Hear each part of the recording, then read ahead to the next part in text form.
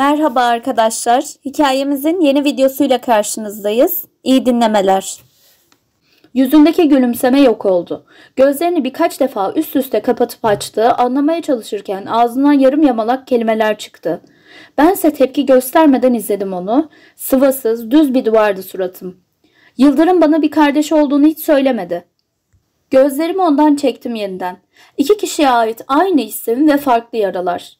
İsimleri geçtiğinde rahatsız oluyorum, kalbim burkuluyor. Geçmişte bıraktığımı sandığım o öfkeli kız bir anda içimde beliriyor ve her şeyi yine yakıp yıkmak istiyor. Bense öylece oturuyorum. İçten içe kendimi yiyip bitiriyorum ama ağzımı açıp tek kelime etmiyorum. Başımı iki yana salladım. Bilmeyen adam nasıl söyleyebilirdi ki? O da daha yeni öğrenmiş ve yaşadığı şaşkınlıkla bulunduğu yeri terk etmişti. Söylemez tabii o da yeni öğrendi. Fısıldadım, duyup duymamasıyla ilgilenmedim. Konuşmamın tek sebebi boğazıma yerleşen yumrunun biraz olsun yok olmasıydı. Ters tepti. Dile getirdiğimde o yumru büyüdü ve beni boğdu. Ayaklandım. Elimi göğüs kafesimin üzerine koyup nefes almaya çalıştım. Levent bir süre sessiz kaldı ve sonra yanımda hareketlilik oldu ama dönüp bakmadım. Yıldırım Bey'le arkadaş olduklarına ihtimal vermezdim diyeceğim ama onların ortamında hiç bulunmamıştım ki bileyim. Bilmediğim bir şey hakkında konuşamazdı insan. Öyle değil mi? Telefonuna ulaşılamıyor. Arkadaşı için olan endişesini anlıyordum. Anlayamadığım konu nasıl oluyor da hem Yıldırım Bey'le hem de Asif'le yakın arkadaş olabiliyordu? Asif'le o adam arasındaki gerilimin nedenine kadar biliyor olmalıydı. Buna rağmen o adamın oğluyla olan bu yakınlığı anlamsızdı bana göre. Yok ulaşamıyorum. Levent'in yanımda gelen sesini duysam da duymazdan geldim. O istediği kadar ulaşmasın. Yıldırım Bey'in biricik babası ulaşırdı. Yanında olur, oğlunu yalnız bırakmazdı. Ardından gidişinden anladım bunları. O adam belli ki beni hiç sevmemişti. Fakat oğlu, oğlum çok seviyordu. Bana yaptığı onca baskıda ona olan patlayışlarım, duygularımı dile getirişlerim koca bir kayaya çarpıp yeniden bana dönmüştü. Gözlerinde görmüştüm. Seven insan öyle bakmazdı. Bana bakarken gözlerinde yalnızca ele avuca sığmaz hırsı vardı. Avuç içlerimi yüzüme bastırıp içimdeki nefesle kaldım birkaç saniye. Evet ona öfke dolu olabilirdim ama içimde bir parça aşağılık gurursuzluğuyla hala onun sevgisini dileniyordu. Oğluna olan sevgisini görmekse nefesimi böyle kesmişti işte. Kıskanıyordum onu. Kendime yalan söyleyemezdim. Hem reddediyor hem de sevgisini kıskanıyordum. Ne çelişki ama. Elimi yüzümden çekip kesik kesik nefes aldım. Kendimi sakinleştiremiyordum. Doğru düzgün tanımadığı abime verilen sevgiye duyduğum kıskançlık midemi bulandırıyordu. İçimdekileri her an dışarı çıkartacak gibi burkuluyordu midem. Yıldırım amca da açmıyor telefonu. Levent'e döndüm. Telefonunun ekranına bakıyordu. Aklım almıyordu. O adama amca diyebilecek bir samimiyete sahipti. Oğluyla yakın arkadaştı ve Levent'in bir diğer en yakın arkadaşı o iki adama düşman gibi bir şeydi. Gerçekten anlamıyordum. Siz Asif'le gerçekten yakın arkadaş mısınız? Ona sorduğum soruyla başını kaldırmadan kaşlarının altından bana baktı. Konunun bir anda Asif'e nasıl geldiğini anlamamıştı. Asif ve onlar arasındaki husumeti biliyor musun? Gözleri benden ayrılmazken başını kaldırdı, kaşları havalandı. Onun hep mütevazi bir kişiliği olduğunu düşünürdüm ta ki şu anki yüz ifadesini görene kadar. Üstten bakışları, dudağının kenarında oluşan küçümseyici gülümseme. Evet biliyorum. Görünen o ki sen de biliyorsun. Yıldırım da Asif de benim arkadaşım. Fakat Yıldırım senin abin ailenin bir parçası. Buna rağmen hala Asif'le birliktesin. Baka kaldım ona. Dışarıdan bakıldığında haklıydı belki de ama ben onu abim olarak kabul etmemiştim. Benim tek ailem annemdi. O tüm bunları bilmeden çok rahat yargılayarak konuşabiliyordu. Asif ise bunları bile bile arada benim kalacağımı düşünerek aramıza mesafe koymamızı istemişti. Kendini düşünmemiş hatta beni yargılamamıştı. Kendini haklı görmek için üste çıkmaya da çalışmamıştı. Başımı iki yana salladım. Burada ne yapıyordum ben Allah aşkına? Kime ne anlatıyor ya da ne soruyordum? Çok gereksizdi yaptıklarım. Bak, tam arkamı dönüp gidecekken Levent'in konuşması beni durdurmuştu. Özür dilerim. Bunları söylememem gerekiyordu, haddimi aştım. Sadece Yıldırım için endişelendim. Bir şey demedim. Ona hak veriyordum. Sena'ya ulaşamadığım zaman da çok korkmuş ve endişelenmiştim. Konu arkadaşın, dostun olduğunda endişeden ne söylediğini bilmiyorsun. Yine de Levent'in söyledikleri hoş değildi. Fakat o benim yaşantımı bilmiyordu. Belli ki aile kavramı onun için farklıydı. Bu nedenle ona hem hak veriyor hem de vermiyordu. Artık gitsem iyi olacak. Kaldığım eve gitmek istiyordum. Şanslıysam annem de evde olurdu, ona sarılırdım. Bugün de birlikte uyumak istesem çok olur muydu? Levent'in yanından geçip gidecekken yolumu keserek önüme geçti. Seni ben bırakayım. İtiraz etmek için ağzımı açmıştım ki konuşmama izin vermeden sözlerine devam etti. Lütfen. Başımı onaylarcasına salladım. Buradan o eve nasıl gidilir ya da bu yoldan taksi geçer miydi hiç bilmiyordum. En azından yolu bilen biriyle gitmek daha uygun olurdu. Levent kabanının içindeki ceketinin iç cebinden telefonunu çıkartıp birini aradı. Konuştuğu kişinin şoför olduğunu sonradan arabaya getireceği bilgisini verdikten sonra anladım. Araba gelene kadar birlikte yan yana yürüdük. Yamaç'ın yaptıklarını sonradan öğrendim. O aslında öyle biri değildir. Biz yani Asif ve ben olanları duyduğumuzda çok şaşırdık. Gün içinde yaşananlar gözümün önüne geldiğinde gözlerimi sıkıca kapattım. İçimdeki sıkıntı konunun değişmesiyle geçer zannederdim. Değişen konu da sıkıntılı olmasa tabii. Sena ile ben birkaç ay öncesine kadar hayat dolu, enerjik, insanlara gülümseyen kızlardık. Sırasıyla hayatımız alt üst olmaya, kötü olaylar birbiri ardına gelmeye başladı.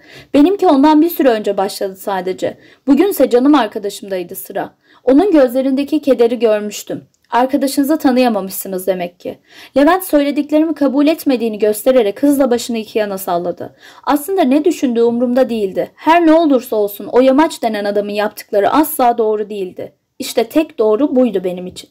Hayır, yamaç sadece aşık oldu. Duraksadım, kaşlarım istemsizce çatıldı. Bu kadar basit miydi yani onun için? Biricik arkadaşları Yamaç aşık olmuştu ve arkadaşım Sena'yı yaptıkları bu sayede gözle görülmez oluyordu öyle mi? Yani aşık olunca insan diğer kişinin hayatını nasıl etkileyeceğini önemsemeden saçma sapan hareketlerde bulunabilir, yaptıklarında haklı olur öyle mi? Öfkelenmiştim. Kimse, hiç kimse o yamaç denen adamın yaptıklarını süslü kelimelerle yumuşatamazdı. Sena konuşmamış, onunla birlikte gitmiş olabilirdi ama ben arkadaşımı tanıyordum. Başka şeyler vardı. Yoksa ben varken onunla gider miydi? Yapamaz, yapmamalı. Sadece yamaçın kişiliği biraz katı. İlk defa aşık oldu ve nasıl gösterilir bilmiyor. Ama merak etme ben konuya el attım. Bir daha öyle bir şey olmayacak. Nasılını, nedenini sorgulamak istesem de yapmadım. Denize döndüm yeniden. Konuşmadım. Levent'in karşıma oturup dürüstçe bana olan hislerinden bahsedişi geldi gözümün önüne yeniden. Başkasını sevdiğimi bile bile yapmıştı bunu. Adam gibi saygısını bozmadan. Eğer ki araya o girdiyse biraz rahatlayabilirdim. Sevmenin ya da aşkın her neyse ne olduğunu biliyordu. Kibar bir adam olduğunu düşünüyordu. Arkadaşına ne yapıp ne yapmayacağı konusunda onu yönlendirebilirdi. Yanımıza yaşını almış kır saçlı bir adam yaklaştı. Kafam o kadar doluydu ki şoför olduğunu Levent onunla konuşana kadar anlamamıştım. Hep birlikte park halindeki siyah sedan arabaya ilerledik. Şoför kapımı açtığımda sağ arka koltuğa geçtim. Levent de yanıma diğer taraftan oturdu. Aramızda sadece içinde kahve bardağıyla aralık vardı. Evin adresini verdikten sonra arabanın içine sessizlik çöktü. Levent'in telefonu birkaç defa çaldı ama yanıt vermedi. Benim varlığımı telefonla yanıt vermesini engellemişti bilmiyordum. Çok da takılmadım. Yakın zamanda inecektim zaten. O zaman rahatça konuşabilirdi. Sokak lambalarının altından geçerken doğru düzgün göremediğim dışarıyı izledim. Bu şehrin karanlığı korkutucu oluyordu. Yıllardır mahallemden sadece okula gitmek için çıkmış, çok geç saate kalmamaya dikkat etmiştim. Çünkü korkardım. Bir başımaydım hep. Yalnızken insan çok şeyden korkabiliyordu. Eskiye dönmeyi isterdim. Koştura koştura okula gitmeyi, çocuklarımı görmeyi, onlarla vakit geçirmeyi ve sonrasında anneme kavuşmak için dakikaları saymayı. Eve geldiğimde annemle yemek yemeyi, birlikte sevdiğimiz dizileri izlemeyi, sadece reklamlarda tazelediğimiz çayları. Geri dönmek isterdim o anlara. Elbette bencillik yaptığımın farkındaydım. Anneme sorsam şu anda kalmayı isteyeceğine emindim. Çünkü o sevdiği adamla birlikteydi. Mutluydu. Yılları birlikte geçirdiğim annemin ilk defa en içten gülüşlerine yeniden şahit oluyordum. Buna rağmen hala geçmişe dönmek aslında annem için dilediğim en kötü kabustu belki de kim bilir. Arabanın yavaşlamasıyla gözlerimi kırpıştırıp bakındım. Araba durduğunda ise kaldığım evin bahçe kapısının önündeydik. Levent'e dönüp teşekkür ettim.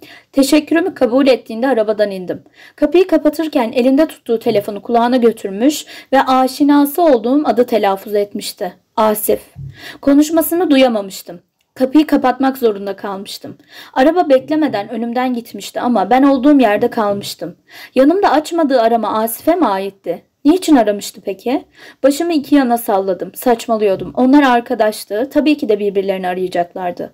Sadece tesadüften ibaretti yaşadığım an. Başka bir sebebi olabilir miydi ki? İnsan arkadaşını öylesine bile arardı sonuçta. Peki Levent'in hislerinden Asif'in haberi var mıydı? Olsa hala arkadaş kalabilirler miydi? Onlar için çok zor olur. Arkadaşlıklarını zedelemekten öte öteye gitmezdi. Onlar için çok zor olur, arkadaşlıklarını zedelemekten öteye gitmezdi. Elbette tüm bunlar benim düşüncemdi. Levent ne olursa olsun iyi bir adamdı. Hislerini içinde yaşayabilir ya da açıklığa kavuşturabilirdi. Asif için söyledikleri dün gibi aklımdaydı. Onun bana olan sevgisine inanmamışken birbirlerinin hislerine nasıl saygı duyacaklardı ki? Zaten benim de dert etmediğim bir bu kalmıştı. Bahçe kapısına döndüğümde çoktan açılmış olduğunu görmüştüm. Beklemeden yürüdüm ve bahçeye geçtim. Saat kaçtı bilmiyordum. Annem evdeyse biraz onunla vakit geçirmek istiyordum. Eğer hala gelmediyse de odaya geçip uyumak istiyordum. Bugün hakkında daha fazla düşünmeye katlanamazdım. Çok yorulmuştum. Her açıdan beni yıpratan bir gün olmuştu. Benim için ne kadar hızlı sonlanırsa o kadar iyi olacaktı. Bu eve girdiğimde annemi bulamamış ve direkt kaldığım odaya girmiş, üzerimi rahat kıyafetlerde değiştirerek kendimi yatağa atmıştım. Başta tavanla bakıştım bir süre. Başımın ağrısının geçmesini bekledim. Kafamın içindeki yoğunluk gözlerimi kapatmama engeldi. Sola döndüm. Üzeri boş çalışma masasına baktım bir süre. Odanın bana ait olmadığı buradan belli oluyor dedim kendi kendime. Sağa dönüp koca camın ardında kalan manzarayı izledim. Zaman geçti. Nefes alışverişimi dinledim. Gece battı. Geceyi aydınlatan ışıklar kapandı ve gün doğdu. Gözlerim yorgunluktan içe çökmüştü sanki. Yataktan kalkamadım.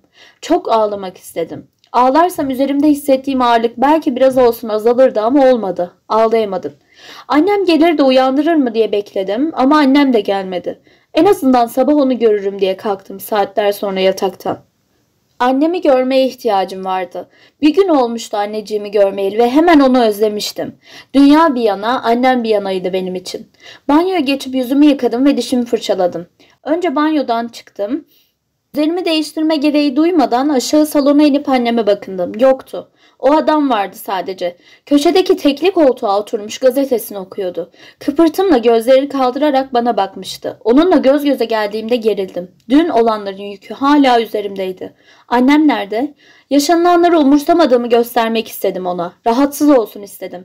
Beni üzdüğünü, bende bıraktığı izleri göstermek istemedim ama bir yandan da çöken göz altlarım, solan yüzümün beni ele verdiğinin farkındaydım. Annen yürüyüşe çıktı, geç döner. Sen de üzerini değiştir, şirkete geçelim birlikte. Kaşlarım çatıldı. Annemde kaldım ben. Haberim olmadan iyileşmiş miydi annem?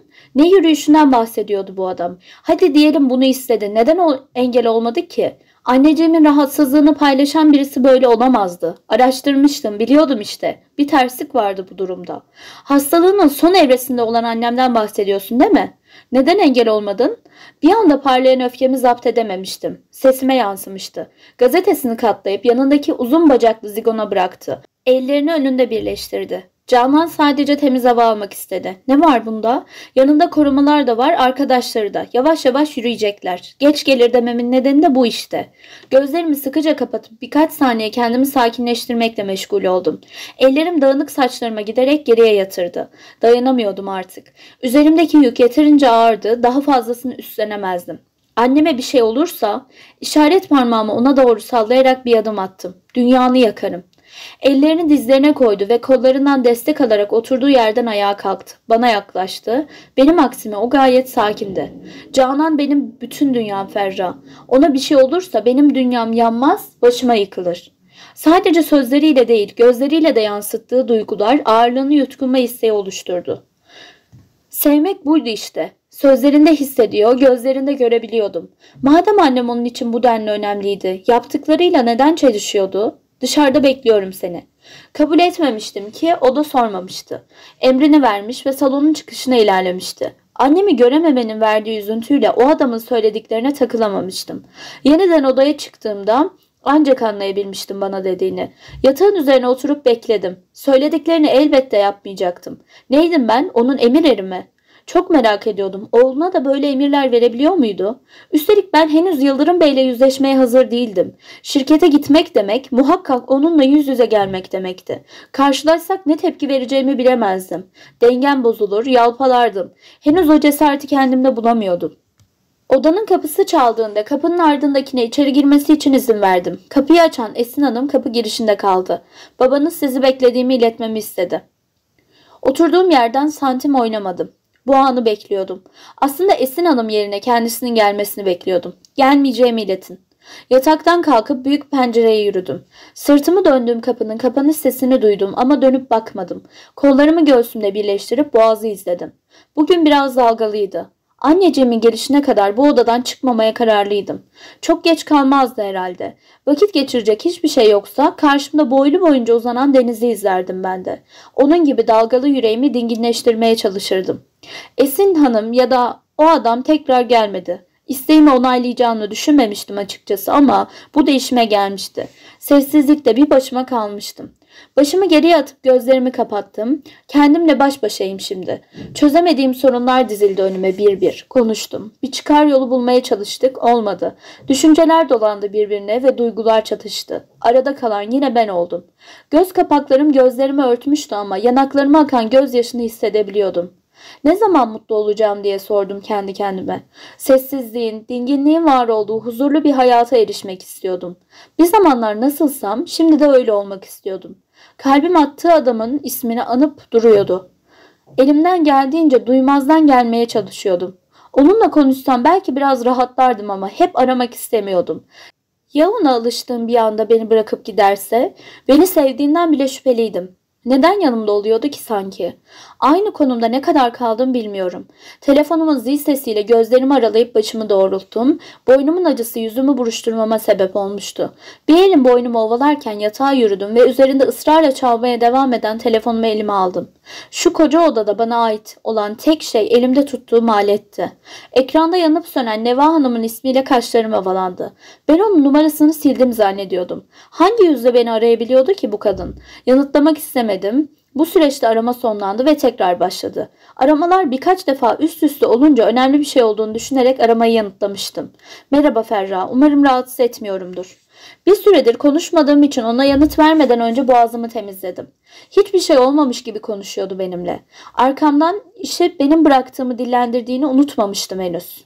Ne için aramıştınız Neva Hanım? Yazardan. Mecburiyet diye kendini kandırmaya çalışıyordu Neva. Dün gece telefonun diğer hattaki kadını ve sevdiği adam birlikte arabaya binerken gördüğünde eli ayağı buz kesmiş bir anda frene abanmıştı. Böylece içini yiyip bitiren derdin ikinci tohumu da atılmış oldu. Ağlama krizine girmeden hemen önce arkadaşı Asif'i arayıp onu almasını rica etmişti. Çünkü kıskançlığın zehirli sarmaşığı sarılmıştı kalbine. Arkasında dizilmiş arabaların korna seslerini duyamayacak kadar sağırlaşmıştı. Arabasını kullanamayacak raddedeydi. Hıncını çıkardığı direksiyonun sertliğinden dolayı elleri acıyordu. Attığı çığlıklar boğazını tahriş etmişti. Asif onu almaya geldiğinde onu aradığı andan çok çok daha kötüydü.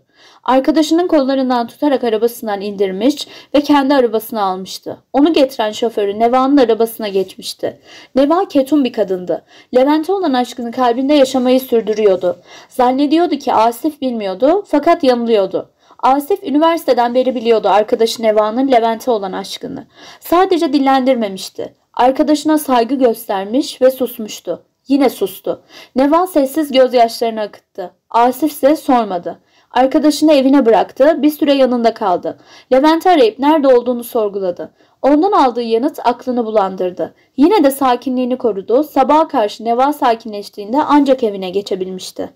Neva birkaç saat önce uyanmış, kendini toparlamış ve Asif'e teşekkür için gitmek isteyerek telefonunu eline almıştı. Arkadaşını aradığında bu defa onun sesi iyi gelmemişti. Neva nedenini biliyordu. Asif'in aksine Neva sorguladı ama bir yanıt alamadı. Yanına gitmek istedi. Ona da Asif izin vermedi. Telefon görüşmeleri sonlandığında ekrandaki tarihi gördü. Bugün arkadaşı Asif'in anne ve babasının ölüm yıl dönümüydü. Birkaç dakika önce yaşanmıştı bunlar. Bugün Asif'in yaz günüydü. Her yıl onca soğuğu yer, bazen ıslanır, yine de hasta olmazdı. Vücudu çökmek için bugünü beklerdi. Yıllardır tanıdığı arkadaşının neler yaşadığını biliyordu çünkü birebir şahit olmuştu Neva. Asif'i sadece bir kere öyle kötü görmüştü. O da tesadüfen. Yoksa o zamanlarda kimseyle konuşmaz ya da kimseyi yanına yaklaştırmazdı. Bir ihtimal Ferra gidebilirdi yanına. Ona bakar ve erken iyileşmesini sağlayabilirdi. Hem bu sayede Asif'le aralarındaki her neyse belki kesinliğe varır, bu sayede Levent'ten uzak dururdu. Asif iyi değil Ferda. Bugün. Boğazını temizledi. Detaylarını anlatmak ona düşmezdi. Yanında olamıyorum. Rica etsem sen gider misin? Arkadaşı Asif Ferra'ya karşı ne hissediyor bilmiyordu Neva ama onun yanında olduğuna göre en azından ilgi duyuyor olsa gerekti. Buna inandırıyordu kendini. Ferra'yı istediği kadar uzaklaştırmak istesin Levent hep yanında olurdu. Fakat Ferra'nın kalbine bir adam girerse yanında olamazdı. Ne oldu Asif iyi mi? Başını iki yana salladı, değildi. Neva arkadaşı için endişeleniyordu elbette. Sadece çıkarları bencilliğini ağır bastırıyor ve safça daha çok kendini düşünüyordu. Sesi telefonda kötü geliyordu. Onun yanında ol Ferra. Ferra'dan. Yanıt vermem beklenmeden arama sonlandırıldı. Kalbim korkuyla büzüşmüştü. Deli gibi de çarpıyordu aynı zamanda. Onun için duyduğum endişe bir anda perde indirmişti gözlerimin önüne. Her şey geri planda kaldı. Üzerime hızlıca elime geçen ilk şeyleri giyip hızla indim aşağı. Mutfağa ilerleyen yardımcıdan kabanımı ve çantamı istedim. Kısa sürede istediklerim geldi. Kabanı giymeden çıktım evden. Bahçe kapısına ilerlerken köşedeki kulübeden Akif çıktı ve bahçe kapısının gerisinde duran arabaya koşturur adımlarla yürüdü. Bekleme de bin. Yüksek çıkan sesim titremişti. Akif bana anlamayan bakışlarıyla dönerken ben bir yandan kabanı giymeye çalışıyor, diğer yandan şoför koltuğuna geçmesi için elimi saçma bir şekilde sallıyordum. Neyse ki anladı. Arka koltuğa bindiğimde Akif'e adresi verdim, araba çalıştı ve yola çıktık. Asif'e ulaşana kadar birkaç defa aradım onu. Aramalarım her seferinde yanıtsız kaldı. Onun için endişelenmiştim. Anlamıyorum. Dün gayet iyiydi. Bir gecede nasıl hasta olabilmişti ki? Araba rezidansın önünde durduğunda hiç beklemeden inip koşar adımlarla içine yürüdüm. Kapıları kapanmak üzere olan asansöre son anda binebilmiştim. Sabırsızlıkla tuşuna bastığım kata gelmeye bekledim. İçimden saniyeleri saydım. Neva Hanım içime büyük bir endişe bırakıp kapatmıştı telefonu. Neden beni aramıştı onu da anlamamıştım. Bana gelene kadar arkadaşlarını geçtim annesi ve babası vardı. Onlar neden oğullarıyla ilgilenmiyorlardı anlamış değilim. Asansörün kapıları iki yana açıldığında dışarı adımımı attım ve koridorda ilerledim. Sağa dönüp biraz daha yürüdükten sonra kapısının önüne geldim. Kapıyı çalıp bekledim. Açılmadı. Yeniden çaldım. Yine açan olmadı. Zile bastım. Neva Hanım'a yerini sormamıştım ve o da söylememişti. Aklıma gelen ilk yer evi olmuştu. Evde değil miydi acaba? Sana gelme demiştim. Derken önümdeki kapı hafifçe aralandı. O aralığın ardından uzun boyuyla karşıladı beni Asif. Bırıltı gibi çıkan yorgun sesini bulunduğum ortamın sessizliğinden dolayı net bir şekilde duymuştum. Kapı pervazına yaslanmış, vücudu zor ayakta duruyordu sanki. Saçları dağılmış, göz altları kızarmış, dudakları kurumuştu. Birden nasıl bu hale gelebilmişti? Onunla göz göze geldiğimizde gülümsemeye zorladım kendimi. Merhaba. Ferra. Boğuk ve cızırtılı bir sesle seslendi ismimi. Burada ne yapıyorsun?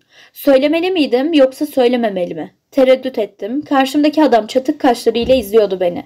Benim aramalarıma yanıt vermezken bir başkasıyla konuşmuş ve gelmemesini istediğini dillendirmişti. Kovar mıydı beni? Aramalarıma yanıt vermedin. Sana uğramak istemiştim sadece.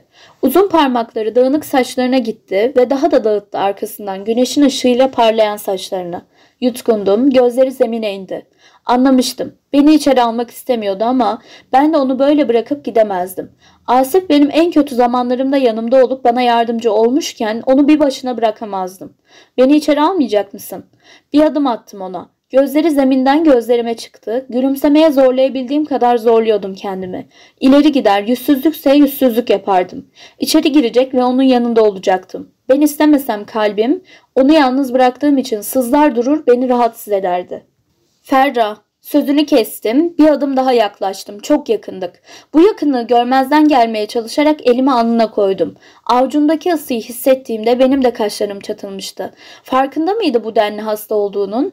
Asif sen yanıyorsun, hastaneye gidelim mi? Kendini benden uzaklaştırıp bir adım gerilediğinde içeri geçebileceğim kadar bir mesafe açılmıştı. Bunu fırsat bilerek girdim. Onun ne diyeceğini umursamadım. İstediğini de söyleyebilirdi. Her ne olursa olsun bugün onu yalnız bırakmayacaktım. Buna gerek yoktu. Israrlarıma rağmen hastaneye gitmemişti. Ben de çözüm olarak ılık bir duş almasını istemiştim. Daha doğrusu iki seçenek sunmuştum önüne ve o da bunu kabul etmişti. İnadının bu kadar katı olduğunu bilmiyordum. İkna etmek çok zor olmuştu. Bu sırada ben de hasta olduğumda annemin bana yaptığı çorbadan hazırladım ona. Burada kaldığımda gece yattığı koltuğa oturdu. Çorba dolu kaseyi önündeki orta sehpaya koydum.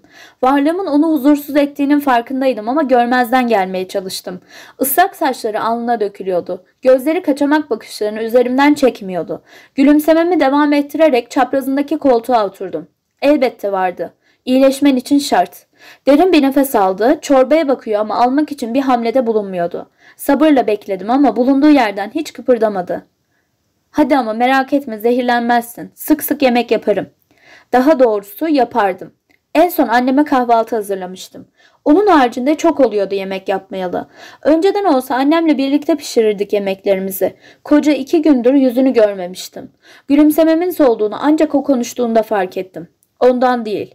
Gri parkelere sahip zemine inen gözlerim konuşmasıyla onun gözlerine yükseldi. Göz göze geldik. Dudaklarını birbirine bastırdı ve ürününe dönüp tepsiyi kucağına aldı. Sadece birkaç yudum aldı, geri eski yerine bıraktı. Eline sağlık. Bu kadarcık mı yani? Neden bitirmemişti? Yemek yapmaya yapmayı unutmuş muydum yoksa? Tadı kötü mü olmuştu? Neden bitirmedin? Beğenmedin mi yoksa? Başını usul usul iki yana salladı. Konuşmadan önce yutkundu, dudaklarını araladı ama konuşamadan öksürdü. İnsan bir gecede nasıl bu kadar hasta olabilirdi? Üstelik dün hava önceki günlere nazaran çok soğuk da değildi. Yağmur da yağmamıştı ki ıslansın. Beğendim. Sadece dinlenmem gerekiyor. Yarına iyi olurum. Sen de bekleme istersen. Sesli bir nefes verdim. Bekleyecektim. Gitmemde ısrarcı olsa da onu bu halde hem de yalnız nasıl bırakıp gidebilirdim? Her şeyden önce göğüs kafesimde duramayan kalbim izin vermezdi. Gitsem aklım onda kalırdı. Bu gece buradayım o zaman. Bir şeye ihtiyacın olursa kimi bulacaksın? Bir şey diyecek gibi oldu. Vazgeçerek oturduğu koltuğa uzandı. Kollarını göğsünde birleştirdi ve gözlerini kapattı. Uyuyacaktı anlaşılan ama böyle olmazdı. Ayağa kalkıp sehpanın üzerindeki tepsiyi elime aldım ve mutfağa bıraktıktan sonra odasına adımladım. Kapıyı araladığımda onun kokusu burnuma doldu. Gözlerim istemsizce kapanmıştı. Sadece kokusu yetiyordu bana. Birkaç saat önceki ruh halim ortadan kaybolmuştu. Çok gariptir ki her şeyin bir anda asif olmuştu. Birbirimizin sınırlarını aşabiliyorduk artık. Kendime bu hakkı tanıyordum. O engellemeye çalışıyordu ama başarısız oluyordu. Önüme engeller koyduğunu düşünmüyordum aslında. Sadece sınırından geçmemi istememişti ve ben geçmiştim. Dolabını karıştırmak istemediğimden yatağının üzerindeki pikeyi alıp odasından çıktım ve salona ilerledim. Neden odasına geçmemişti ki? Daha rahat ederdi. Kendini çok mu bitkin hissediyordu acaba? Ben hasta olduğumda değil kolumu, tek parmağımı bile kıpırdatamazdım. Salona girdiğimde bacaklarını kendine çekmiş olarak gördüm onu. Üzerinde tişört vardı. Üşüdüğünü zannetmiyordum. Evi oldukça sıcaktı. Pikeyi üzerine örtüp örtmemek konusunda kararsız kaldım. Kucağımda pike ile karşısında kala kaldım. Dizlerimi kırıp yüzüyle aynı hizaya geldim. Nemli saçları yer yer kurumuş, alnında dağılmıştı. Avcumu saçlarının altından alnına yerleştirip ateşini kontrol ettim. Buraya geldiğim zamana göre daha iyiydi. Göz altları kırmızıdan eflatuna dönmüştü sanki. İçim hiç rahat değildi. Birkaç yudum çorba içmişti sadece. Uykusuz olduğu belliydi de aç mıydı bilmiyordum. Benden önce biri gelip ona yemek yapmış mıydı? Nasıl diye bakmış mıydı? Öyle biri gelse bu halde olur muydu ki? Asif diye sessizce fısıldadım. Diz çöktüğüm yere oturdum. Kucağımdaki pikeye sıkı sıkı sarılmıştı kollarım. Uyumuş muydu bilmiyordum ama ona seslendiğimde de bir tepki vermedi. Ben hasta olduğumda bana iyi gelen şeyleri ona da iyi gelmesi dileğiyle yapmak istiyordum. Sana bir hikaye anlatacağım. Ben hasta olduğumda annem anlatırdı. Hikayenin adı Campanula. Sonsuz aşkın çiçeği. Hikayeye başlamadan önce nefeslendim. Çocukluğumdan beri bana hep bu hikayeyi anlatırdı annem. Ben büyüdükçe sadece hasta olduğum zamanlara kalmıştı hikaye. Zamanın birinde büyük krallıklardan yalnızca soyluların oluşturduğu bir topluma önemli bir adamın yeğeni olarak misafir gelmiş genç kız. Laura. Öylesine güzel bir kız da değilmiş. Yalnızca gözleri dikkatini çekermiş insanların. Kumral teninde parlayan mavi gözleri. Zaman geçmiş, soylular Laura'yı çok sevmiş. Laura hayat dolu bir kızmış. İnsanlar onunla sohbete başladığında zamanın nasıl geçtiğini anlamazmış. Şehrin her yerinde dost edinen genç kızın adı her yerde geçer olmuş. Büyük krallığın verdiği bir davette kraliçenin kulağına kadar gitmiş adı. Oğlu Anto için ideal bir eş olacağını düşünmüş ve Laura ile görüşmüş. Laura da kraliçenin isteğini geri çevirmemiş. Bu haber soylular arasında hızlıca dolaşmış. Laura'nın yeni prenses olacağını duyan tüm soylular büyük bir memnuniyetle onu tebrik etmişler. Laura ile yakın olan birkaç kişi daha önce prensi hiç görmediklerinden bahsetmiş. Kimisi prensi varlığına bile inanmıyormuş. Böylece şüphe tohumunu Laura'nın kalbine ekmişler. Duraksadım. Parmaklarım yumuşak pikenin ucuyla oynarken gözlerim de ince desenlerindeydi. Hikayeyi annemden dinlemeyle o kadar uzun zaman oluyordu ki bazı kısımlarını hatırlamakta zorlanıyordum. İçime korku doldu. Eve gittiğimde annemin kucağına başımı koyacak ve yeniden dinleyecektim bu hikayeyi ondan. Aklıma kazıyacak ve hiç unutmayacaktım. Laura sık sık kraliçenin yanına gider olmuş. Kimi zaman çeyizi hakkında konuşmak için, kimi zaman sadece öğleden sonra çay içmeye. Gözleri hep prensi aramış fakat Laura onu hiç görememiş. Bir gün dayanamayarak kraliçeye bu konudan bahsetmiş. Madem evlenecekti, prens hiç gelmez miydi yanlarına ya da merak etmez miydi evleneceği insanı? Bunun üzerine kraliçe her şeyi anlatmış. Prens küçük yaşta kardeşini kaybetmenin verdiği üzüntüyle odasından hiç çıkmaz olmuş. Kimseyle konuşmaz. Annesi kraliçe bile sadece yemeğini götürdüğünde oğlunun yüzünü görürmüş. Kraliçe Laura'dan yardım istemiş. Oğlunu yeniden hayata bağlamak istiyor ve bunu ancak Laura'nın yapacağına inanıyormuş. Laura o gün eve düşünceleriyle gelmiş. Ona ayrılan odadan hiç çıkmadan iki gün boyunca düşünmüş. Sonunda kararını vererek kraliçenin huzuruna çıkmış. Laura bir aşk evliliği yapmak istediğini, tanımadığı, hiç görmediği bir adamla evlenemeyeceğini söylemiş. Ama demiş, prens hazretleri kabul ederse bir arkadaşı olarak ona yardımcı olabilirim. Kraliçe kabul etmiş, prens ve Laura'nın hikayesi de böyle başlamış. Soluklanmak için durdum yeniden. Şimdi fark ediyordum da aslında hikaye çok uzundu. Ben atlayarak aklımda kaldığınca anlatıyordum ama annem en ince ayrıntısını hiç kaçırmadan anlatırdı bana. Ne kadar sürdüğünü bilmezdim. Sonunu duymadan da uyuyamazdım. Canım annem hiç yorulmadan soluksuz anlatırdı bana. Laura başta konuşmak istemiş prensle fakat bu istek prens tarafından reddedilmiş. Laura pes etmemiş. Her gece geçirdiği günün güzelliklerinden bahseden bir mektup yazar, içine de penceresinin kenarında açan mavi çan çiçeğini tohumlu koyarmış. Laura öyle heyecanlı, öyle güzel yazarmış ki mektuplarını, başta onu umursamayan prens merakla Laura'nın mektubunu bekler olmuş. Bir süre sonra prens de Laura'ya yanıt vermeye başlamış. Prens penceresinden gördüklerini yazarmış, mektubunun içine de bir tane mavi çan çiçeği koyarmış. Bu şekilde güzel bir mektup arkadaşlığı başlamış. Laura bu çiçeklerin hepsini biriktirmiş. Sevdiği bir kitabın arasında kurutmuş. Aynı zamanda Prens de Laura'dan gelen tohumları ekip yetiştirmiş. Gel zaman git zaman Laura mektubunu kapının altından prensin odasına göndereceği sırada kapı açılmış. İlk defa o an Prens Anto ve Laura birbirlerini görmüşler. Prens küçük bir saksıda mavi çan çiçeğiyle karşılamış Laura'yı. İşte onların da sonsuz aşkı böylece başlamış. Sonunda hikaye bitti. Pike'nin her bir karışını inceleyen gözlerim Asif'in yüzüne çıktı. Yüzü hatları gevşemişti. Aynı şekilde uyumaya devam ediyordu. Nefes alışverişleri düzenliydi. Belki de bu hikayeyi Asif'e değil kendime anlatarak hatırlatmıştım.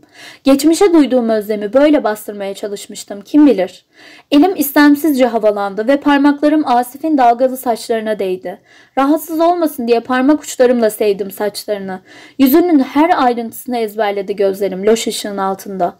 Yanaklarına gölge yapan kirpiklerinde oyalandı. Önümdeki boşluğa yasladım başımı. Gözlerim yavaşça ağırlaşıp kapanana kadar onun yüzünden ayrılmadı uzunca bir süre. Onu böyle özgürce izlemek güzeldi. O uyanıkken baksam da bir şey demezdi sanırım ama ben bakamazdım. Asif'le uzun zamandır tanışmıyor olsak da aramızda farklı bir bağ oluşmuştu. Ben onun en kötü anlarında yanında olamamıştım belki ama o benim yanımda olmuştu. Kalbim belki onu gördüğü ilk anda ona bir şeyler hissetmeye başlamıştı. Bilmiyorum ama bir süre sonra fark etmiş, zor da olsa kabul etmiştim. Aklım hala arada karşı koymaya çalışsa da çok önceden yenilmişti zaten. Ne kadar uyudum bilmiyorum. Bir şey uyanmama neden oldu. Gözlerim bir anda sanki gözlerimi kapatmışım da açmışım gibi açıldı. Uyuyamamışım gibi hissettim kendimi ama zaman algım şaştığı için uyuduğumun farkındaydım. Başımı yasladığım yerden kaldırdığımda boynumun ağrısıyla yüzümü buruşturdum. Elimi boynuma koyup ağrıyan yere ovuşturdum. Kısa sürede nasıl bu kadar ağrıyabilmişti boynum? Bakışlarım duvarlarda saat aradı ama bulamadım. Gözlerim Asif'e döndüğünde beni izlediğini fark ettim. Loş ışıkta koyulaşan gözlerin seçmek zor olmamıştı. Ne zaman uyandım? Bir şeye ihtiyacım var mı? Dikileştim. Sesim yeni uyanmanın verdiği mahmurlukla boğuk çıkmıştı. Tam ayağa kalkacakken bileğimden tutup kalkmadan yeniden oturmamı sağladı. Ferra. Sesi kısık çıkmıştı. Bugün benim annem ve babam öldü. Dediğini anlamakta güçlük çektim. Dudaklarım şaşkınlıkla aralandı. Gözlerimi defalarca kez kırpıştırdım. Ne yapmalı ya da ne demeliydim bilmiyorum. Şaşkındım. Derinden bir sızı hissetmiştim kalbimde. O yüzden mi bu haldeydi? Neden Neva Hanım bana bununla ilgili bir şey dememişti? Haberlerde verilmiş miydi bilmiyordum. Kimse demediyse bile bu, o adam muhakkak bununla ilgili bir şey söylerdi bana. Anlamıyorum. Bugün annem ve babamın ölüm yıl dönümü. Bugün benim yaz günüm. O yüzden lütfen git artık. Algılamakta güçlük çekiyordum. Kafamın içinde düşüncelerim çorba olmuştu. Her şeye rağmen nasıl olur da bana bu haldeyken onu bir başına bırakıp gitmemi isteyebilirdi? İnsan en kötü anında en sevdiklerini istemez miydi? Evet belki ben onun sevdiği değildim, bilmiyorum. Ama biri olmalıydı yanında. Başımı hızla iki yana salladım. Bunu benden nasıl isteyebilirdi? Adına ne denirse densin onu bugün yalnız bırakmayacaktım. Bir daha hiç yalnız olmayacaktı. Ben vardım artık. Tıpkı onun hayatımda olduğu gibi. Asif bak ben buradayım ve senin yanındayım. Seni yalnız bırakmayacağım. İstersen kapı dışarı et. Kapında beklerim. Yine de gitmem. Gözlerimin içine baktı uzun uzun. Gizlemeye çalıştığı duyguların dalgalarını görebiliyor ama neyi temsil ettiğini kestiremiyordum. Sessizce baktık birbirimize. Ben daha çok onun sessizliğine saygı duydum. Yoksa soracak çok sorun vardı ona. Annesi babası olmayınca insan ağlardı. En çok onların yokluğuna. Gözyaşları hafif yaralar içindi belki de. Ağır olanlarıyla baş edebilmemiz daha zordu. Çünkü hüznün ağırı da gözyaşlarına dönüşemiyordu. Böyle yataklara düşürüyordu insanı. Ona yaklaştım biraz. Parmaklarım hafifçe yanağına değdi. Avcumu yumuşak saçlarının altından alnına koydum. Ateşi düşmüştü. Gözlerini kapattığını görünce elimi yanağına indirdim. Yeniden uyuyacak mıydı bilmiyordum. Sadece gözlerini geri açmadı. Baş parmağım yanağını okşadı. Sessizliğin içinde kalp atışlarımı duyuyordum. Onun için atan bir kalp vardı artık bende. Hiçbir zaman dillendiremeyeceğim bir sevgi taşıyordum içimde.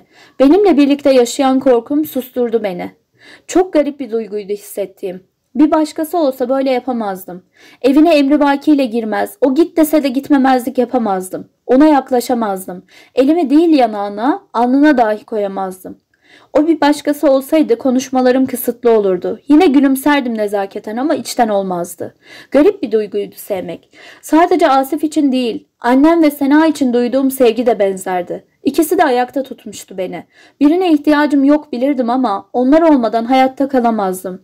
Doğan güneşe şükretmezdim. Geceyi dost bilmezdim. Sevgi olmadan benim dünyam zifiri karanlık olurdu. Elim çenesine kayarken Asif'e biraz daha yaklaşıp yanağına ufak bir buse kondurdum. O saatten sonra hiç uyumadım. Elimde tuttuğum gri renkteki pikeyi üzerine örttüm.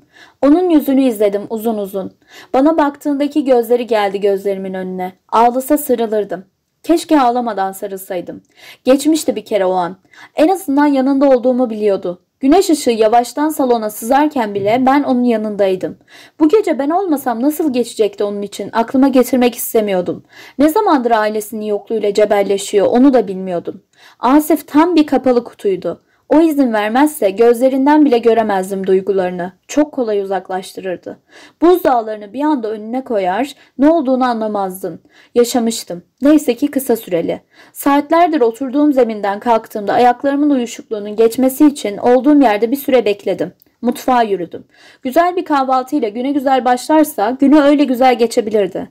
Bu sayede hüznünden de çabuk kurtulurdu. Kahve makinesine kahveyi koymakla başladım. Ne sever bilmediğim için dolaptaki kahvaltılıkları çıkartıp bir fikir edinmeye çalıştım. Sonra tüm malzemeleri sevimli bir hale getirmek geldi aklıma. Salatalık ve peynirden çiçekler, domates ve zeytinden uğur böcekleri, omletten marul saçlı bir kafa yaptım.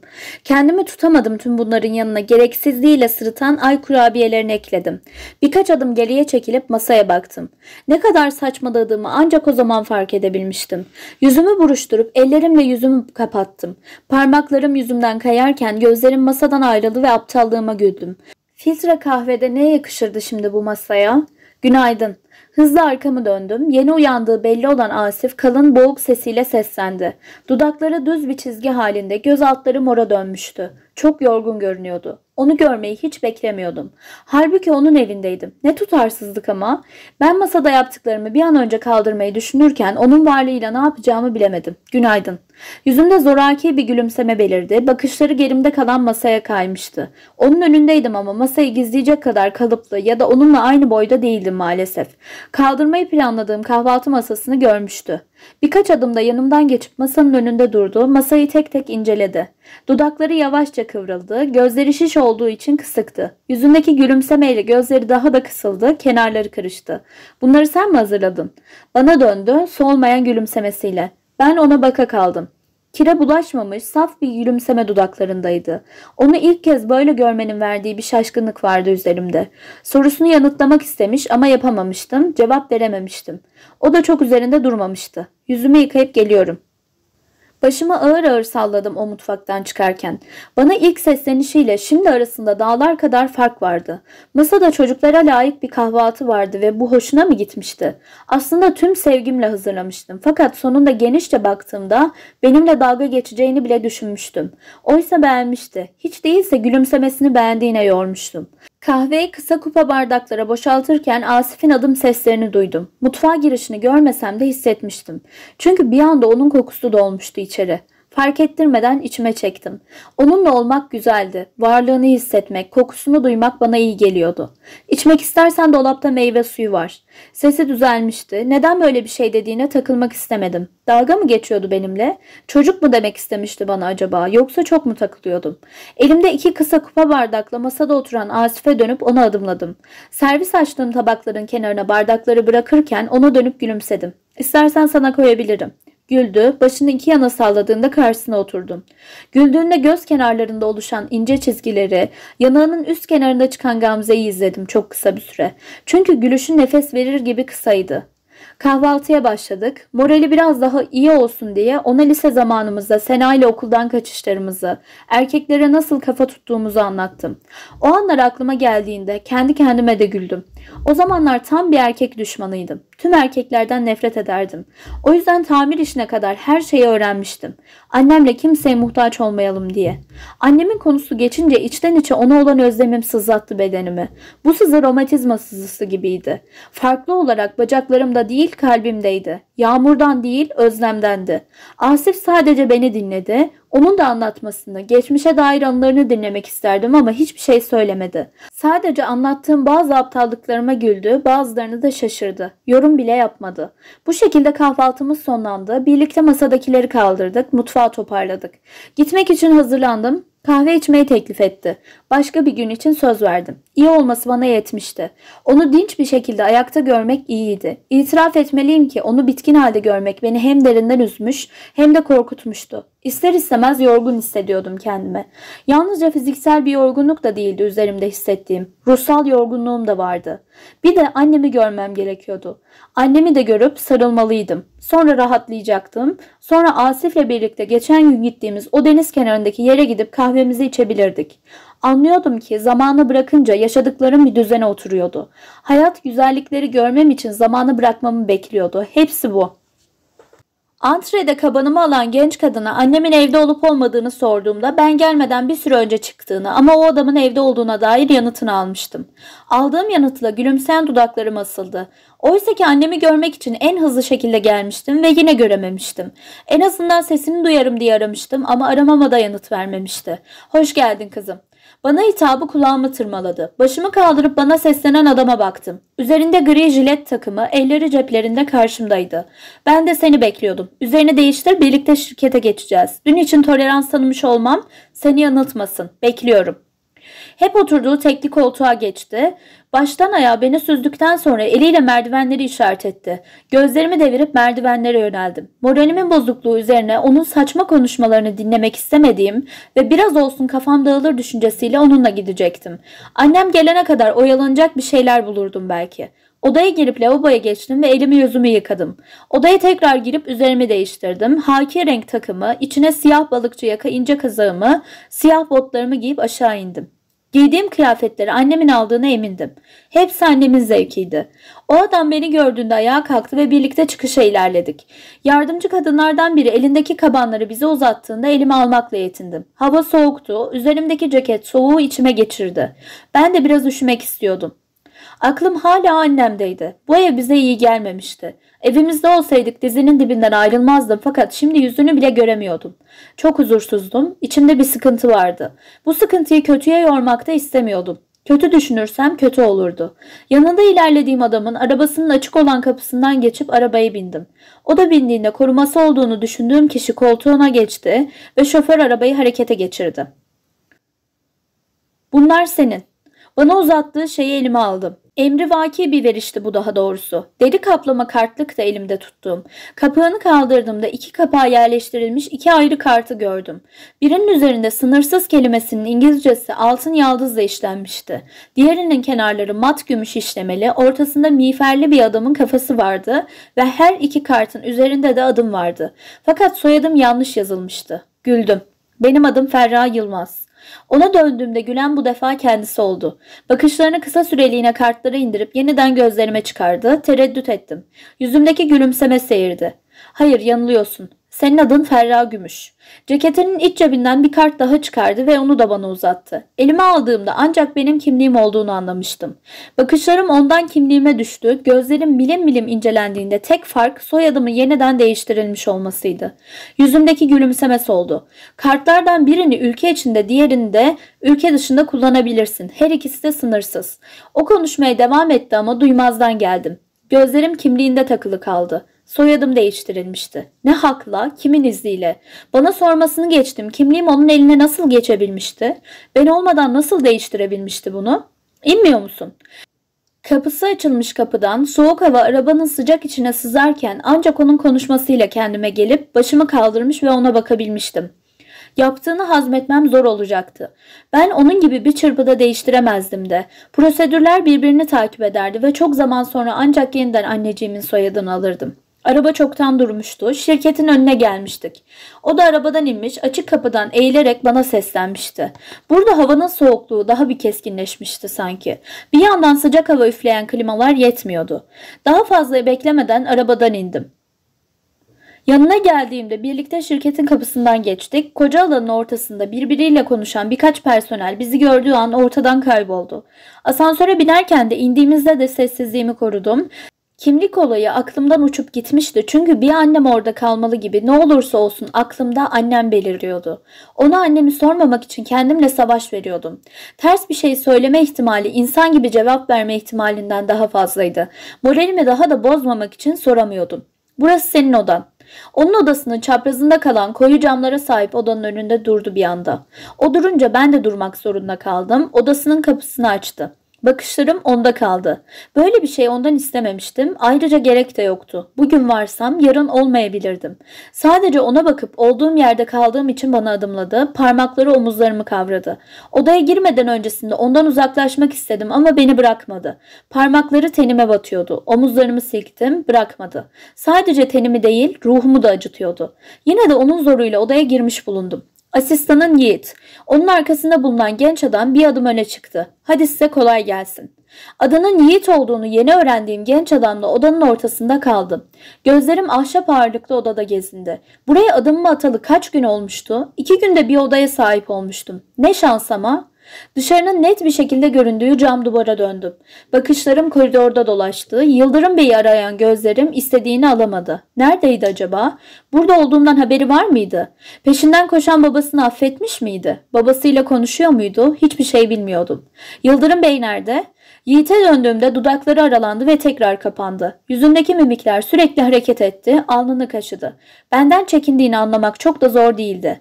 Efendim affedersiniz ama hangi Yıldırım Bey? Sıkkın bir nefes verdim. Başımı iki yana salladım. Aynı isimler benzer yaralar açmıştı kalbimde. Ne ona baba diyebilirdim ne de diğerine abi. Sevdiğim, saydığım bir adam bir anda silikleşmişti bende. Derin bir burukluk vardı içimde. Keşke böyle olmasaydı. Yiğit'ten şirketle ilgili detaylı bilgi alabileceğim evrakları isteyerek onu odadan gönderdim. Odadan çıktığında ardından kapıyı kapatıp masanın önünde duran siyah tekli koltuğa oturdum. Gözlerim yeniden odanın içinde turladı. Ne yapacaktım ben burada? Ben ne anlardım ki şirket işlerinden? Okuduğum bölümle alakası bile yoktu. Benim bildiğim maksimum işletme annemin bir zamanlar çalıştığı yemek şirketiydi. Yer yer onlara yardıma giderdim. Bu şirketle karşılaştırıldıklarında noktada virgül bile değildi. Oflayıp yüzümü ellerimle örttüm. Annemi özlemiştim. Küçük bir çocuk gibi onun için ağlayabilecek raddedeydim aslında. Kendimi tutmaya, engellemeye çalışıyordum ama olmuyordu. Anneme ihtiyacım vardı. Görsem de yeterdi. Yeter ki bir göz göze gelelim. Bana o çok sevdiğim tebessümlerden birini bahşetsin. Ellerimi yüzümden çekip cebimdeki telefonumu çıkardım ve annemi aradım. Numarası ezberimde, arama listemin en başındaydı hep annem. Önceden bir tek annemin aramaları olurdu bende. Şimdi bir annemin araması eksikti. Telefon çaldıkça çaldı fakat açan olmadı olmadı. Neredeydi bilmiyordum. Duymamış mıydı? Ya başına bir şey geldiyse Allah korusun. Bilmediğim yerden nasıl anneme koşabilirdim ki? Oturduğum yerden ayaklandım. Telefonu cebime atıp odadan çıktım. O adama muhtaçlık beni sinir ediyordu ama şimdi ondan başka çarem yoktu. Ona annemi sormak zorundaydım yoksa tüm gün içim içimi yiyecekti. Nerede olduğunu öğrenirsem hem giderdim yanına. O adamın odasına geçerken asistan ayaklandı. Elimle ona oturmasını işaret ettim. Odanın kapısını araladım. Sırtı bana dönük, boğaza kadar uzanan manzaranın önünde durmuş biriyle telefonla konuşuyordu. Odaya adımladım, beni fark etmedi. Ona yaklaştıkça hararetli sesi netleşti. Ferra'yı daha ne kadar oyalayabilirim bilmiyorum. Evde olduğu her an seni soruyor. Bugün kaç defa aradı? Kaçlarım çatıldı. Benimle ilgili kiminle konuşuyordu anlayamamıştım. Sessiz adımlarım ona biraz daha yaklaştı. Elimde bir başka telefon daha tutuyordu. Annemin telefonuydu. Ekranı yandığında annemin beni kaydettiği adıma ait sıralı aramaları görmüştüm. Elbette sevgilim. Ona annesinin fenalaştığını ve bir anda yeniden hastaneye yatmak zorunda kaldığını nasıl söyleyebilirim ki? Özellikle onun arkasına döndüğünde göz göze geldik. Sözlerini yarıda kesti. Beni görmeyi beklemiyor olsa gerekti. Ben de onun konuştuğu kişinin annem olmasını beklemiyordum. Adil bir takas olmuştu aramızdaki şaşkınlık. Ferra, nefes alışverişlerim hızlanmıştı. Gözlerim ona olan odağını kaybetmemek için titriyordu. Başta imkan vermek istemedim, inanmadım. İçten içe sürekli inkar ettim. Annem olmazdı. Benim annem olamazdı. Hastanede bir de. Peki neden? Ne zamandan beri? Olmazdı. Benim annem olamazdı. Annem o eve geldiğimizden beri çok iyiydi bir kere. Yoksa ben gitmek için ısrar etmez miydim? Annem değil. Sesim çıkmamıştı. Fısıldamıştım. Başımı hızla iki yana salladım. Elindeki telefona düştü bakışları kısa bir süre. Ekranına dokundu ve hem onu hem de diğer elinde tuttuğu telefonu cebine koydu. Gözyaşlarım yer yer karşımdaki adamın yüzünü görmeme engel oluyordu. Göğüs kafesim daraldıkça daralmış ve nefes alacak alan bırakmamıştı bana. Kalbim her atışında tekliyordu. Sana söyleyecektik sadece Canan sözünü çığlığım kesti. Duymak istemedim ama duymuştum bir kere. Doğruydu yani. Annem iyi değildi. Canım yanıyordu. İçim içime sığmıyordu. Ağladıkça gözyaşlarım azalmak yerine daha da artıyordu. Annem iyi değildi ve ben ancak bir telefon görüşmesinde öğrenebiliyordum bunu. Bana yalan söylediniz. El birliğiyle yalan söylemişlerdi bana. Evdeki yardımcılar bile. Onun üzerine yürüyüp elimle ittim. Bir adım gerilese de karşımda dimdik durmaya devam etti. Tahammül edemedim. Benim gibi yıkılsın istedim. Kafayı yiyecektim. İlk benim öğrenmem gerekiyorken bir benden saklanmıştı her şey. Sana söyleyecektim ha. Elleri kollarımı kavrarken ondan kurtulmak için çırpındım. Sesini duymak istemiyordum. Açıklamasını dinlemek istemiyordum. Ama ya da fakat işlemezdi bana artık. Söylememişlerdi işte. Sus, dokunma bana sus. Duymak istemiyorum seni anlıyor musun? Bana yalan söylediniz. Sesim bir alçalıp bir yükseliyordu. Kendimi tutamıyordum. Onun ellerinden kurtulmak istiyor. Aynı zamanda ona zarar vermek istiyordum. Defol. Gözleri arkama kayarken duraksadım birden. Gözyaşlarım bile durmuştu. Duygu durumum çoktan kontrolümden çıkmıştı. Annem. Annem yoktu. Nerede olduğunu bilmiyordum. Nasıl gidecektim ben anneme? Nerede bulacaktım annemi? O birine bir şeyler söylerken ceketinin iki yakasında kavradı ellerim. Sesini algılayamıyordum. Yumruklarım o kadar sıkıydı ki ceketin kumaşından geçip avuçlarıma batıyordu. Üstelik bu canımı yakacak son şey bile değildi. Nerede? Çığlık atar gibi çıkmıştı sesim. Arkamda olan gözleri sonunda yeniden gözlerimle birleşti. Annem nerede? Annem. Gözyaşlarıma hıçkırıklarım eklendi. Kendimi tutamıyordum. Ondan yanıt alamadıkça daha da deliriyordum. Bana bir şeyler söylüyordu fakat duymakta zorlanıyordum artık. Aklımı ve yüreğimi annemin yokluğu öyle doldurmuştu ki başka hiçbir yere yer kalmamıştı. Nefes almaya bile. Bir anda etraf karardı. Ceketini tuttuğum ellerim gevşedi. Ayaklarımın bağı çözüldü. Karanlığa hapsoldum. Bomboştum. Gözlerim açıktı. Etrafımı görebiliyordum. Annemi sayıklıyordu dudaklarım. Fakat ben karanlığın koca boşluğunda asılı kalmıştım. Arkamdan bir el tuttu beni. Bedenim yere düşmeden hemen önce. Görüş alanıma aynı isme sahip, bende benzer yaralar açan bir adam girdi. Önce birbirlerine, sonra bana baktılar. Ben onlara bakmak istemedim. Gözlerimi kapattım. Fısıltılar arasında açıldı zihnim. İnce bir ses sürekliliğini devam ettiriyordu. Göz kapaklarım o kadar ağırdı ki açmaya gücüm yetmemişti. Aynı şekilde vücudumu oynatmaya da gücüm yoktu. Nerede olduğumu bilmeden yumuşak bir zeminde uzanmaya devam ediyordum. Berra buraya gel. Uzaktan bir ses geldi. Küçük bir elin elime dokunduğunu hissettim. Kime diyorum kızım ben? Tanıdığım birinin sesini duymuştum. Sesin sahibinin kim olduğunu çıkartamadım. Algılarım henüz yeterince açılmamıştı. Kısa süre sonra bir kapının kapanış sesini duydum. Bedenim sanki bu anı bekliyormuş gibi kıpırdadı ve sola döndüm. Yanağıma saten kumaşın yumuşaklığı sürtündü, gözlerimi araladım. Görüş açıma giren ilk şey uzun, beyaz, ahşap bir kapıydı. Kapı yer yer oyularak sade bir desene ve gümüş rengi kapı koluna sahipti. Kapının oymasında dolandı gözlerim bir süre.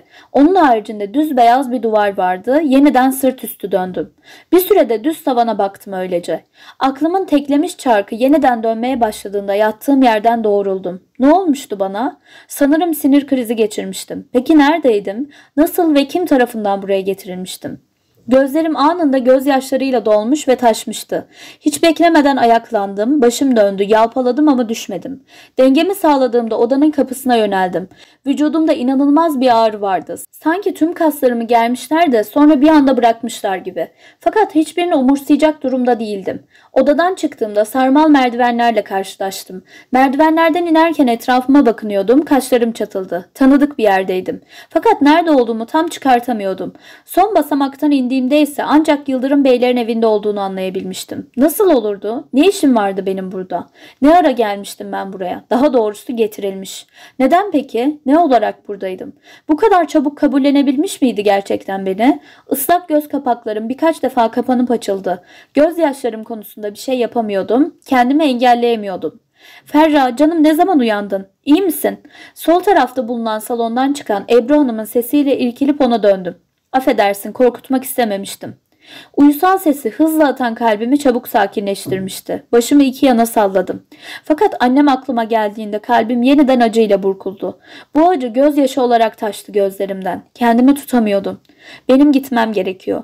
Kendi kendime konuşmuştum. Konuşunca boğazım ağrımıştı. Sesim olabildiğine pürüzlüydü.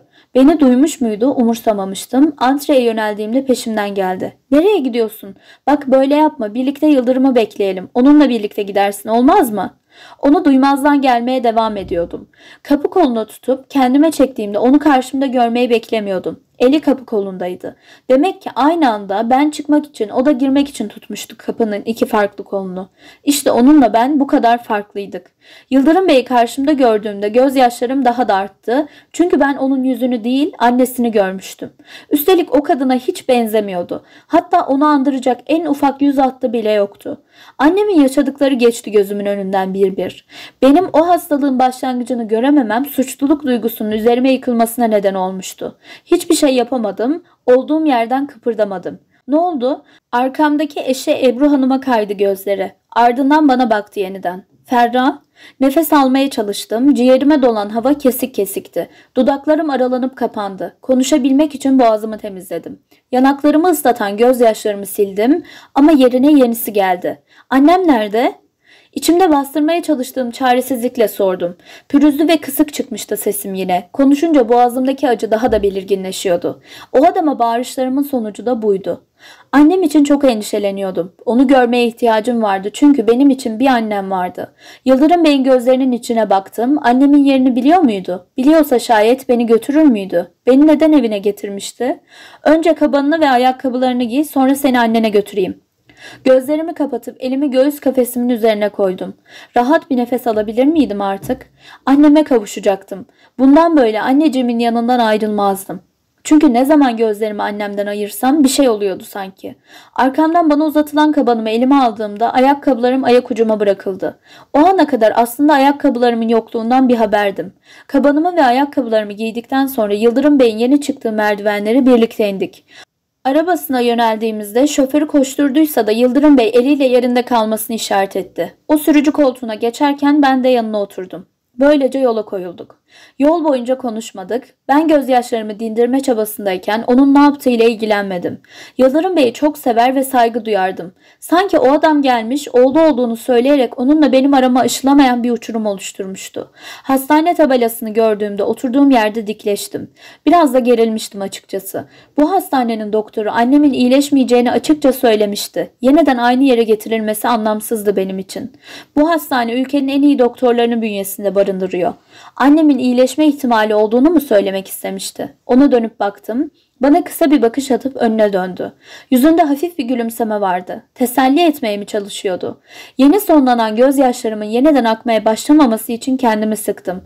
İçten yanaklarımı ısırdım. Demek ki annemin durumunun ciddiyetini bilmiyordu. Bilmek zorunda da değildi. Hiçbir anneme çare olamadı. Fısıldadım, boğazım çok ağrıyordu. Dudaklarımı birbirine bastırdım. Burnumun direği sızladı, gözlerim doldu. Bu sefer gözyaşlarımı engelleyebildim çünkü biraz olsun sakinleşmiştim. Kalbim annemi göreceğimi bildiği için dinginleşmişti. Sadece ciğerlerimi düzene sokamamıştım. Belli ki annemi görene kadar rahat bir nefes alamayacaktım. Yeni bölümde görüşmek üzere. Şimdilik hoşçakalın.